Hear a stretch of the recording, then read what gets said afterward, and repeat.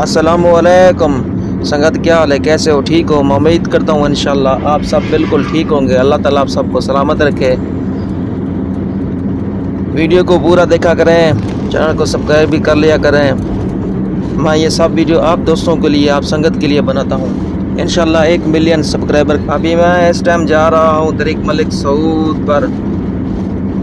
आप सामने राइट पे देख रहे हो, ये शिरका जाहिद ट्रैक्टर ये सबसे बड़ा शिरका है। ये सोलर प्लेट वाला शिरका है।